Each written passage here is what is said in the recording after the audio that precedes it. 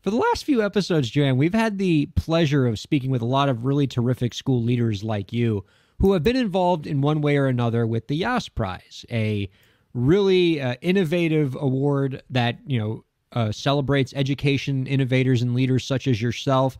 Uh, you were recently announced as a semifinalist for that award and uh, have gotten quite a bit of uh, fame from that. Can you tell us a little bit about uh, what you've been doing with them lately?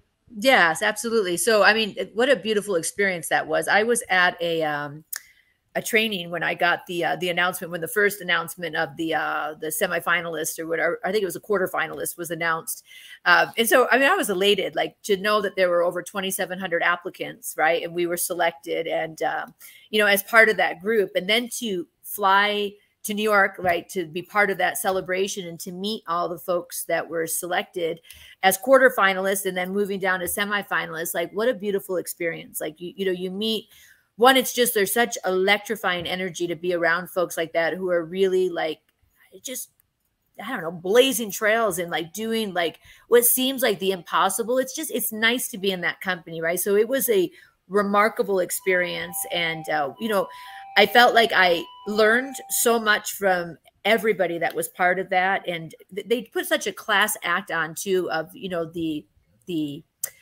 the training program that they put together for us. It was just it was remarkable. I don't i don't know. It's hard to kind of drill down to like what was the number one? People sometimes say well what was your key takeaway? And i'm like oh know. It's hard to drill down to like one thing we got from that. It was really powerful. I think we got powerful ideas lots of validation Sometimes when you're doing the work and you're really in the work, you start to question, am I doing everything right? Because there's a lot of challenges in the work, right? And when you talk to other organizations and other leaders and you find that they're experiencing some of the same challenges, one, it makes you feel less alone.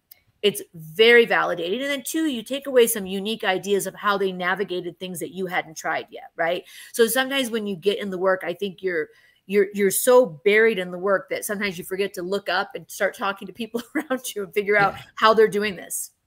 School leaders like you are so used to just getting from day to day putting out fires and trying to move things forward that it uh, you know it almost comes as a shock to you when somebody just kind of taps you on the shoulder and says hey just so you know you're doing an incredible job and your uh, fellow educators in this industry are acknowledging that and here's some awards to you know demonstrate and you're just and you know your head's just like so down trying to move forward you don't even realize it but you know rest assured we're all very impressed with your school thank you of course. Uh, you can find out more about our guest's work by visiting www.missionachievementandsuccess.com.